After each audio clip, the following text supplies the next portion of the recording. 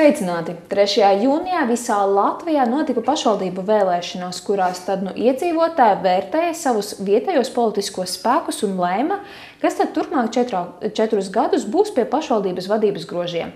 Uz sarunu aicinājām Rēzeknes pilsētas vēlēšanu komisijas priekšādātāju Diānu Piroškinu. Sveicināti! Labvakar. Un arī Rēzeknes nodu vēlēšanu komisijas priekšādātāju Ilonu Turku. Sveiki! Sveicināti!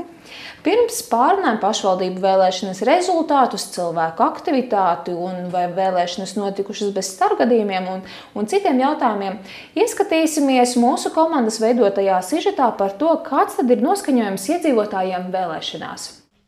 Pirmie vēlētāji šodien savas balsis atdeva pašā rīta agrumā, septiņos no rīta. Reizeknes un Riebiņa novadu iecirkņos lielākā vēlētāju aktivitāte bija novērojama tieši dienas pirmajā pusē. Šodien nobalsojuši apmēram 120 cilvēku, iepriekšējos dienos kopā 77. Līdz ar to apmēram no 1000 vietējos Akstagala pagastā kopā ir nobalsojuši uh, ap 200 izdoto brīdi. Mums ir 14 sātas pieteikumu šobrīd reģistrēti. Kopumā brauc ģimeņām lielākoties, brauc arī ar pašvaldības transports, ir autobuses, ir palaists. Visādos veidos tiek ir arī vietēji cilvēki it kojam. Izskatās tā, ka cilvēki nāk diezgan raiti jau iepriekš zinot, ko viņi grib. Jā. Bet ir, protams, arī cilvēki, kuri vēl padomā, pasēž un ilgāk. Bet steigas lielas nav, viss notiek ļoti mierīgi, ļoti akurāti, bez problēmām. Varēja teikt, ka cilvēki nāk uz svētkiem, daži saka. Vidēji Latgales novados izvēle jāveic starp pieciem politiskiem spēkiem. Vien lielākajās pilsētās Daugopilu un Rēzeknē sarakstu skaits ir vairāk kā desmit, attiecīgi 13 un 11. Rēzeknieši atzīst, savu izvēli veikt bija salīdzinoši grūti. Pieņemot lēmumu, viņi vērtējuši partijas programmas un kandidātus kā personības. Nu, bija gan grūti. Bija grūti, jā. Daudz ir jaunu sarakstā. Nu, bet izvēlējos. Nekādu problēmu. Mm -hmm. Kam tad jūs vairāk pievērsāt uzmanību tām personībām vai tomēr programmai? Nu, gan programmai, gan arī personībām. Bet šķiet, ir jāmaina valdība, kas ir Reizeknē šobrīd? Nu, ļoti daudz jau labi ir izdarīts. Nu, tad, lai izlemj tauta, mainīs vai nemainīs. To es viena pati nevaru izlemt. Tik daudz to sarakstu un tik daudz labu cilvēku gribētos par to, par to esošie un topošie nevaram saprast, kuru nu vēlējamies, kurš tāds tuvāk sirdī. Daudz uz vēlēšanām ierodas ar bērniem, lai arī šobrīd mazākie reģioni iedzīvotāji vēl neizprot vēlēšanu patieso nozīmi, lielāko prieku viņiem sagādā aploksnes iemešana vēlēšanu urnā. Vecāku prāt būtiski, lai jau no mazotnes viņi pierastu pie šī procesa un rastos pilsoniskā apziņa par obligātu dalību vēlēšanās.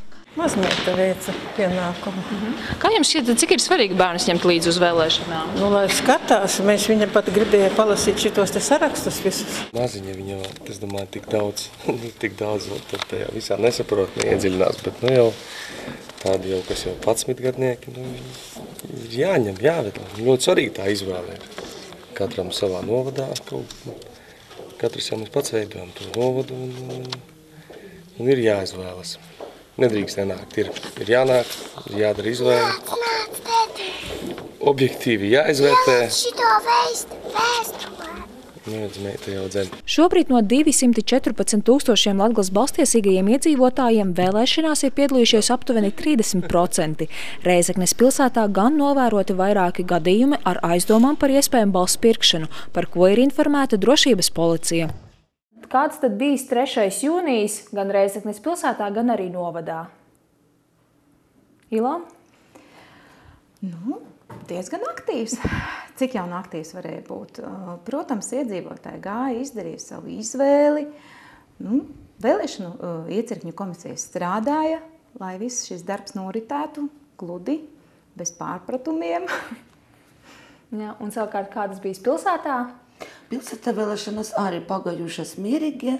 Sestdien, 3. jūnijā, notikušas pašvaldību vēlēšanas noritējušas mierīgi un dienas gaitā nebija fiksēti agitācijas noteikumu pārkāpumi arī. Jā. Kā tad ir mainījies partiju sadalījums pašvaldībā, vai ir gaidāmas, gaidāmas arī izmaiņas, kas tad, kas tad būs pie, pie vadības šajos nākamajos četros gados? Nu, labi, es pateikšu.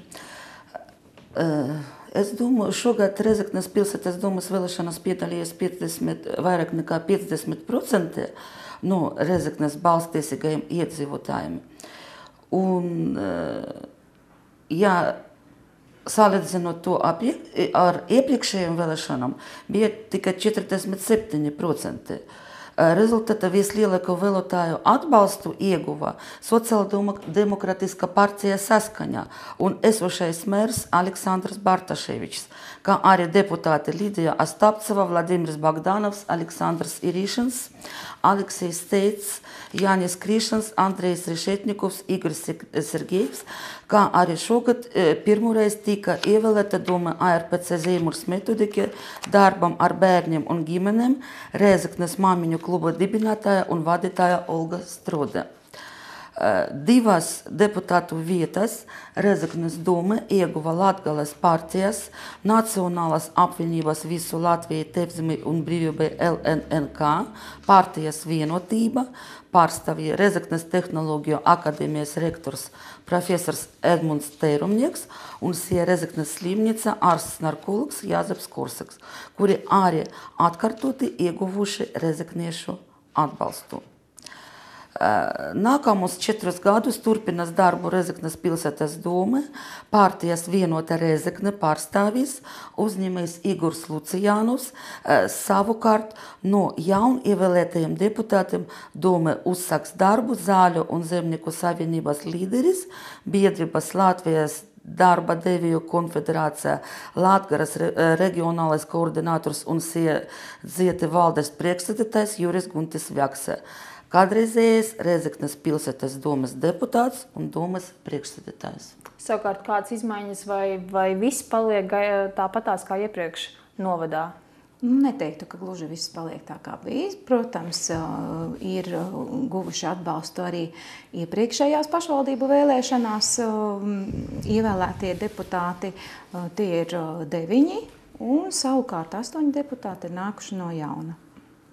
Uh. Diana, jūs jau pieminējāt, ka tikai 50%, tas ir apmēram 12,000 no pilsētniekiem piedalījušies vēlēšanās, savukārt Reizeknes nodā tie 38% no, no 22,000 valstiesīgo. Nu, lai gan salīdzinot ar iepriekšējām vēlēšanām ir nu, neliels kāpums, nu, bet tomēr tas ir, tas ir diezgan zem, zema aktivitāte. Kā jūs skaidrotu, kas ir par iemesliem? Vai cilvēki ir aizbraukuši projām no reģiona vai ne? Vai noveco iedzīvotāju un ir fiziski grūti piedalīties vēlēšanās un neizmanto iespēju nobalsot mājās, vai, vai ir citi iemesli? Kā ir Ilona? Nu, jā, viena lieta ir, jā, protams, tā ir daļa izbraukušo iedzīvotāju. Kāda daļa, protams, ir arī jaunieši, kuriem ļoti labprāt patiktu iespējams izmantot elektronisko balsošanu, ja būtu tāda iespēja. Uh, Nu, protams, liela daļa ir tāda, kas vienkārši nevēlas. Nevēlas piedalīties, nevēlas izteikt savu attieksmi. Jā, kā, kā jums šķiet, Diana, kas tie ir? Nu, es piekrītu arī Lunu. Pilsētā arī tā, ka novada, ka visu valsti. Jā. Bet, bet kāds ir novērojams, kuri varbūt ir tie aktīvākie balsotāji, kura vecuma grupa, grupas cilvēki bija, bija visaktīvākie? Veca grupu cilvēki. Jā, vidēja un vecāki. Vidēja un vecāki. Jā. Un cik daudz savukārt izmantoja šo iespēju nobalsot mājās, kad komisija ierodas pie viņiem uz, norādītu adresi? Mm, piemēram, Reizeknas novadā pieteikumus bija iesnieguši 461 vēlētājs. Un gandrīz šis pats skaits arī palika nemainīgs, un iecirkņiem nācās izbraukt. Bija pat iecirkņi, kuros mm, bija pat 60 pieteikumi. Protams, visi iesniegumi tika apmierināti, un vēlētājiem tika dota šī iespēja nobalsot uh, viņa atrašanās vietā. Jā. Un vai ir izmaiņas starp šī, šīm pašvaldību vēlēšanām salīdzinājumā ar iepriekšējām? Cik tad ir balstiesīgo izmaiņas, vai ir pieaugums, vai, vai tomēr kritums balstiesīgo? Rezekne, uh, 2013. gada uh, bija balstiesīgi 25 100 viens cilvēks. Bet šobrīd 23,171 eh, cilvēks. Jā, eh, bet sakarā ar to, kā samazinājās iedzīvotāju skaits, skaits aktivitāte bija lielākā nekā pagājušajā reizē. Mm -hmm. Jā, piekrīt Jānai, jā, ka tiešām šis balstiesīgo uh, iedzīvotāju skaits ir samazinājies, taču pati aktivitāte ir bijusi nedaudz lielāka arī novadā. Daudziem varētu būt šis nērts, šis, šī sistēma, kad ir katram vēlētājam noteikti savs vēlēšanu iecirknis. Vai tomēr jūs redzam, redzat tam priekšrocību? Bet viņi varēja nomainīt savu vēlēšanas iecirkni līdz 16. maijam un pierakstīties uz citu vēlēšanu iecirkni, bet tikai sava pašvaldība. Vai nu arī attiecībā uz uh, jā. citu pašvaldību, jā. Jā, jā. šim vēlētājam uh, bija, teiksim, piedar, piederēja nekustamais un pieder nekustamais īpašums, kas ir noteiktā kārtībā reģistrēts zemes grāmatā. Varēja arī, varēja mainīt arī pašvaldību, jā. Padomāt iepriekš. Jā, par to bija jāpadomā iepriekš. Jā. Reizeknē tika novēroti pāris aizdomīgi gadījumi par iespējamu balsu pirkšanu. Kā, kāda ir šī šobrīdējā situācija? Vai ir pamats domāt, ka Reizeknē vēlēšanas notikušas negodīgā veidā? Nē, es tā nedomāju. Tāpēc kā pareizie. Trešajā, atvainojiet, ne trešajā, bet 3. jūnijā, jā, 251. vēlēšanu iecirkņi iespējams notiku, notikusi vēlētāju balsu pirkšana. Minētā iecirkņā vēlēšanu komisijas darbinieki ievērojuši trīs ierēbušus vīriešus, kuri sākumā iegājuši iecirkņi un nobalsojuši, bet pēc tam izgājuši ārā, zvanījuši pa mobilo telefonu un ar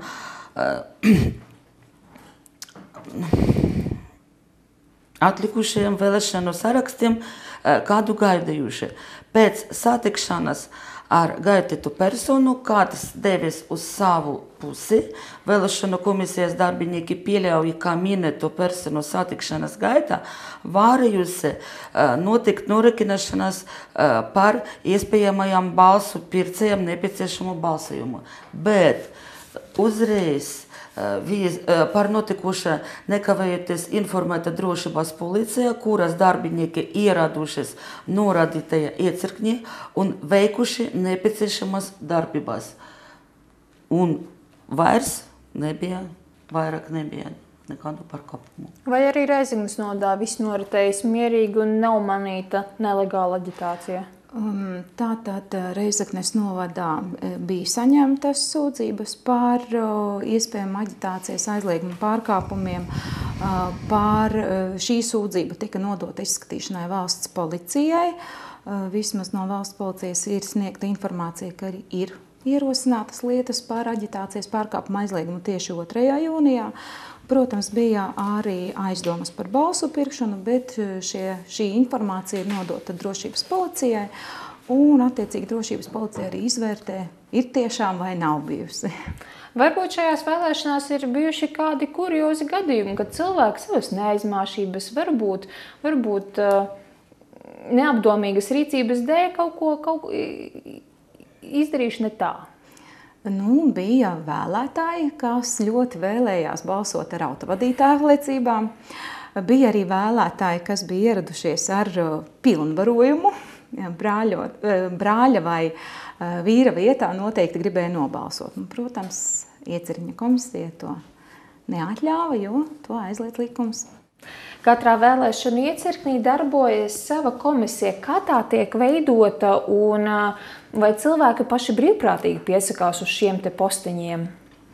Jā, uz šiem posteņiem cilvēki paši piesakās brīvprātīgi. Jā.